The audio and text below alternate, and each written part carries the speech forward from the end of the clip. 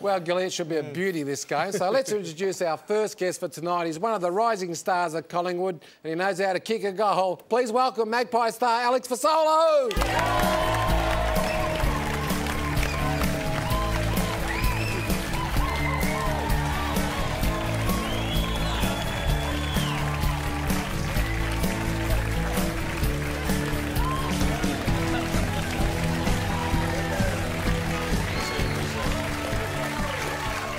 Alex, welcome to the Marngrook Footy Show. Great to have you on. Beautiful, thanks for having me. Yep, and uh, so far this year, the Pies have had a few injury concerns early on in the year, so it's yeah. given you an opportunity for you guys like yourself, Sidebottom, uh, also young Beams, and he's really stood up in the first, you know, eight, nine games for the year for the club. Yeah, and yeah. just how have you found your own form as well? Well, obviously, we obviously copped a few uh, injuries early on and it means guys like Steele and uh, Beams have really stepped up, which has been good. Yep. Um, and yeah, look, I've played every game this year except for one, uh, where I was a bit injured. But um, other than that, yeah, look, it's been a good start to the year. But wouldn't mind, uh, you know, having a better second half. And it looks like you really like kicking goals too, mate. Enjoy yourself. I do love kicking goals. Okay. Always let me know about it too. Let's just talk about the, the new coach, Nathan Buckley, because yep. obviously there was a lot of conjecture when Mick Malthouse was coach and Bucks was coming in and all that. How have you found Nathan Buckley as a coach and perhaps what's just the differences between the two coaches so far? Yeah, obviously uh, Mick was a little bit more old-fashioned, so I guess uh, Bucks coming in, is uh, it's been a really smooth transition, so all the boys have uh, responded really well. And I guess he bridges that gap between uh, the player and coach maybe a little better than Mick, maybe, which yep. is maybe a little difference. But uh, you know, the boys really responded well to him, and I guess guess the uh, proof's in the pudding with us Alex, sitting almost at the top. So sorry, mate. You, you love to kick a goal. We heard Grant say that. And I've watched you. Watch you. I actually love watching you play. Um, and you don't mind celebrating a, a little bit here and there. And, I've uh, toned it down a little bit. I've actually I've done a bit of homework here. A great goal here, but I actually had a look at it. Your celebration very ordinary. you gave nothing, but I don't remember that. I've just put a bit of a package. Is that me? Is it? Yeah, yeah, that's you. I put a bit of a package of myself. Now you can take a couple of these home. Here's one, here's one here. I'll just show you. this is just a lazy game. This one here. I kicked six. Oh, that was a little clap. Oh, yeah. oh, double, one here, just oh, yeah. I, I kick, and this one here. What's, the, what's the lady? Just celebrate. That's good. That's really good. I obviously got a lot of work to do. Well, you know what? I had a thing. My players knew, yeah. Barnes knew. I had to celebrate. Then they can come and pat me on the back. I had to. That was yeah. sort of like. Tell the boys don't come near me. So you can take a couple yeah, okay. of those home if you want. This week I'll be giving it Alex, Alex, enough of the lair rising that he does. anyway, I want to ask you a serious question. And yep. one thing that I've been really impressed with you in the forward line is. Collingwood, they had Brad Dick there previously. Mm -hmm. Andrew Krakouer got injured early uh, mm -hmm. in the year. He's out for the year. Didak's been injured. How good is it for the Collingwood Football Club to have someone like you come in? It's like you've been playing for the last two or so years. Mm. That's the, that shows the depth of your footy club. Yeah. You've got unbelievable depth. Well, we, we, we pride ourselves on having players that can come into the team and play that role, and no matter what, who your name is. Mm. So obviously, it's you know it's pretty hard to lose guys like Krakouer, Didak, Macaffer, these guys, but. You know, um, Ben Sinclair's come to the team and played his role really well. You know, I've come in, guys like Kirk Ugle has played played pretty well. Even little Blairy sneaks up there Jarrod well. Blair, yeah, and even moved into the midfield and really mm. providing heaps. So, yeah, it's really good. It's a credit to all of us, yeah. Just going uh, in a different direction here, uh, Alex. Uh, we talked about the social network uh, earlier with uh, Carlton doing some tweets. What's your mm -hmm. club policy, and uh, do you tweet or Facebook? I'm a, I'm a big Twitterer. Yeah. No, I'm not a massive Twitterer. I like Twitter. I've got a few followers. Yeah. Follow me on Twitter, Alex Fasolo. um, no, we're, we're, pretty much told by media blokes that, look, if whatever you're tweeting, whatever you're putting out there, prepare to have it quoted on the front page of the Herald. So um, I try not to take Twitter too seriously. And uh, yeah, I don't really see the point in having cracks and umpires on Twitter. So, that's all. We've got a twit on here, that's all. but, uh, I was talking to uh, Chrissy at the back room. He wants to know if you've been punched in the lip at all. and the second one, is it true that Daisy got engaged during the week? It's uh, only a rumour, but I don't know if it's true. Oh, it's floating around, isn't it? Uh, look, Daisy isn't engaged, but it's probably not far around the corner. Ooh, it's pretty serious, and uh, my lips are all pure. and Al, uh, you've uh, you went from, as we've seen in the footage here, you're 35 yep. Uh, last year, and you've gone to number one. What's the reasoning behind that? well, every year, 35 is given to our first draft pick. So that was me last year. This year, Jamie Elliott's wearing it and uh, so I had to give it up. And then Bucks offered me number one, and I uh, jumped all over it. So did yeah. uh, did Peter Daicos make that rule or not? Because Peter Daicos. He's a good player too, Daicos. Yeah, Daicos isn't bad either. Nah, but, he, but, that's his old number. Did he make Daicos, yep. um, Did he say to the club that that's how I want this number treated? It was actually uh, nothing to do with Peter Daicos. It was more to do with uh, Daicos. Well, Daicos, Peter Daicos. um, was, I think it was the, it was a club, probably the board that came up with the idea, and just with Mm. Simon Prestigiacomo being the real uh, team man. Some people forget that he actually wore it for however many years. And uh, I just reckon it's great it that they could get highly. a great number because normally it's given to a superstar or someone who's come over with big Yeah. raps. So, no, it's great. Yeah. Can I just ask you about um, Nick, Ma- Nick Maxwell? Uh, the Dakos and Mixwell. Dakos. I mean, he, he mucks me up all the time. You worry about me too much. Mate, just his form. I mean, I, I, I watched Nick and uh, play in that. Is he carrying an injury? I mean, no, you're not going to tell us, but no one's watching the show, so just tell us. Um, is he carrying him? Because in the last couple of weeks, he's actually been a bit. I mean, he hasn't been that normal role. He's running off the halfback flank and really running down. He's just sort of been staying home a lot in the halfback flank. Yeah, look, he gets his role every week, and uh, I don't think he's carrying injuries. And if he was, he hides them pretty well and keeps them pretty. You know. Well, you kick him on the leg. wasn't it? Sorry, man. I tell you where I'm.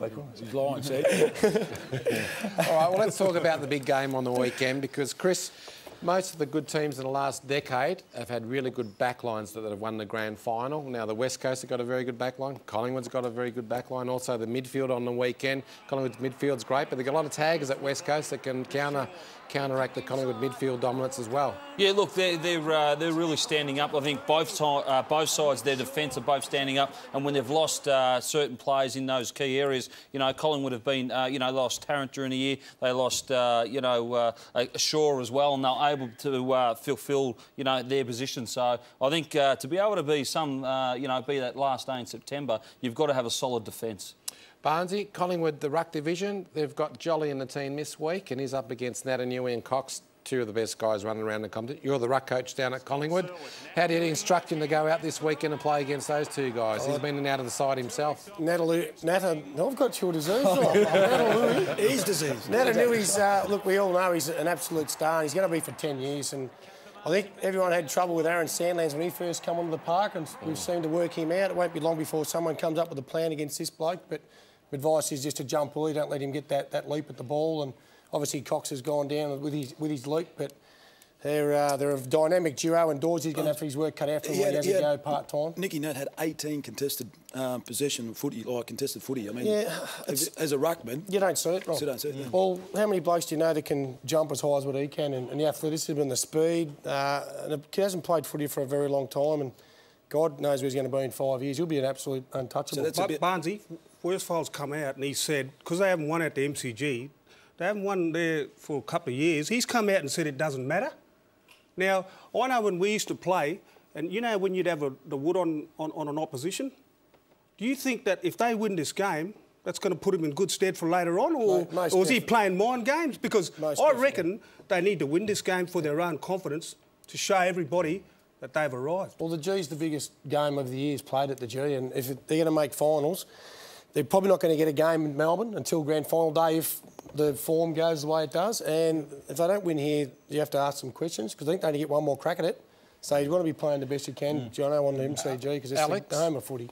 Uh, the Collingwood midfield, uh, particularly Swan against the West Coast the last few games. I think he's polled quite a few Brownlow votes too. But that midfield, they give you good supply down the forward line there, don't Yeah, they? make, makes my job a lot easier. Yep. Uh, yeah, look, and uh, obviously we all know Swan's a superstar, but it's been guys like Steele and Dane Beams who have really stepped up this year, and even Jarrod Blair playing a little cameo role. It's um, just made our life as forwards a lot easier. Yeah. Chris, young Jack Darling, he's really stood up this year in the absence of Kennedy. Kennedy's probably not going to come back for another eight games, but he's been a real big plus for them to be able to stand up in, against some good quality opposition. Look, he, he's just been presenting himself. He's been he's seen the opportunity that's uh, that arose for him, and uh, probably going under the radar a little bit uh, towards the opposition, not showing him enough respect. And he's been able to present himself, you know, at the ball whenever the ball's coming down uh, off half back and through the middle, and they're kicking the ball to him, and it's giving them an opportunity or uh, an option going forward. All right, well, let's get some selections on this game. Barnes, we'll go straight to you first, champ. Yeah, look, I reckon uh, both sides are bat very deep, and it's going to be the 15th to 22nd man that will win the game for either side. So I'm, I'm hoping that Collingwood's depth's a bit bigger than West Coast. And I'll back the Pies. Good point, Chris. I, I think Collingwood, they're well rested. They've had a fair break, and they uh, this will be their biggest test that they've had in the last uh, three or four weeks. So Collingwood. Okay, Rock and Ronnie, West Coast a chance, are they? I'm actually uh, I'm going to go with uh, West Coast because they're up in the ball. Um, Nicky, Nicky Nat, just absolutely sensational. That's when you want him up and going and uh, lead up to this game. I think they're, they're going to be flying. Scott Selwood is just an absolutely sensational tagger and he'll probably get the job on Dane Swan. So I'm going to tip the Eagles at a tight one. Okay, well, Alex, I know you're going for Gilly. It could be a wet weekend on the, on the weekend. Will that make a difference? Oh, look, I, I don't think it'll matter. Uh, these two sides, it's just going to be a great game of footy. I actually think that uh, Collingwood will win this game, and I reckon they'll win Yeah, well, I'm going to put my head on the chopping block here. I'm going to go for the West Coast Eagles. Sorry, Alex. Just want to ask Alex about Jobe Watson. I mean, very important player for the Bombers, and uh, probably Ryan Crowley will probably get the job on him, and he's uh, probably the second, third best tagger in the competition. I mean, Yeah, he is. yeah, we played against Bombers in a lot of clashes, obviously. I mean, Jobe Watson, how important is he to the Bombers in that midfield? He's a superstar, and more than anything, just him being there attracts a lot of attention from the opposition. I mean, it takes right. It means it means their second tier midfield is going to clean up if uh, Crowley goes to Jobe, which I'm sure he will. Uh, yeah, he, he has a massive influence on games, absolutely. All right, well, let's Game, this one. I just want to ask Alex, being the freshest bloke that's still playing the game, six weeks out, I think. Adam Goodes, is it longer? It might be five or six. It's one of those two weeks. What's it like to be coming back after a, an injury like that, mate, and especially the time being out? How will he fit in? Uh, I wouldn't be worried if I was Adam Goodes. I mean, the bloke's a superstar, so I'm sure he'll just come back and hit the ground running. Not underdone, do you know think? What's that, sorry? Not underdone? Nah, nah, he'll be fine. You reckon? Yeah.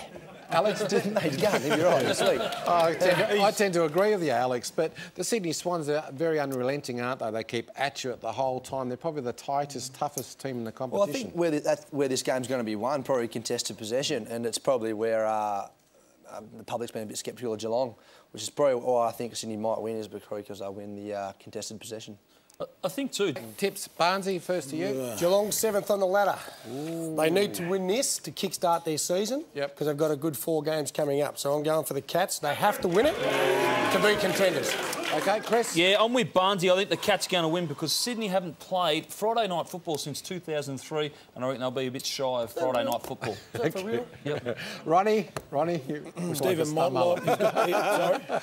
You look like a stunned mullet. No, Anyway, just these two. is a over there. um, Steven Motlop, got the looks, can sing, can play. chris Christensen in the side. Geelong easy over Swans. Okay, Alex, your selection on this Uh, one? I'm going to go with Sydney and go the other way in terms of. Uh, I reckon Goodsy coming back, the boys want to play well for him. Okay, saw- Gilly. Yeah, no, look, I'm, I'm going to go for the Swans because I think that the Cats are a bit top heavy and the SCG. Yeah, they're top heavy. Well, They tall. Podsiadly, I wouldn't put him in He's there. 89 kilos. Well, Ronnie, can he run Tips, around Gilly. like Selection, a ruck rover? Yes, he can. I will go for the Swans. Yes. I'm going to go for the Swans too, Gilly. I think they can win this one Well, if at Ronnie home. can, if So Ronnie be Sydney quiet, I can well. say what I'm going to say. Blood. Well, let's get a selection then, Barnesy. Yeah, look, um, I don't think North Melbourne's going to a hope in hell. I'm going to go for. Uh, I hate to say it, but I'm going for Adelaide. It's, it's, it's, it sucks to say it, but it's what it is. Chris, quickly, Crows. Yeah, I think the Crows quite easily. Ronnie, Yeah, I'll get the Crows. Alex. Yeah, the Crows, but good to see Liam Anthony, a fellow East Fremantle Shark, back in the team. Yep. Okay. Well, Gilbert, your selection. Yeah, no, I normally pick uh, an outsider. This is my outsider for the round, North Melbourne. They go well. No, they they go. They play well against the uh, Adelaide Crows, and I reckon that, that's my upset for the round. Okay. Well, Gilbert, I'll stick with the Adelaide Crows. I'll be way too strong. Alex, thanks very much for joining us on the Footy Show tonight. Good luck for the rest of the season.